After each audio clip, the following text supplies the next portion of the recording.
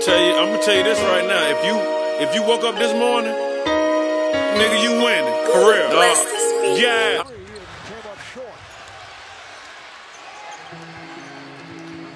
Rivers, the former Clipper, for Harrell, pegs it cross court. Westbrook up top. Westbrook on the drive. and Comes up short on the stuff as he was fouled.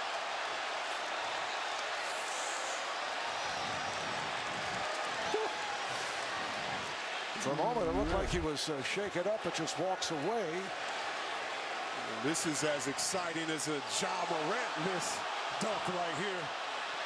Look at oh. And Just to think, Aaron Gordon made it look so easy in the dunk contest, jumping over seven footers. Foul called on Harrell, and Doc Rivers is going to challenge it.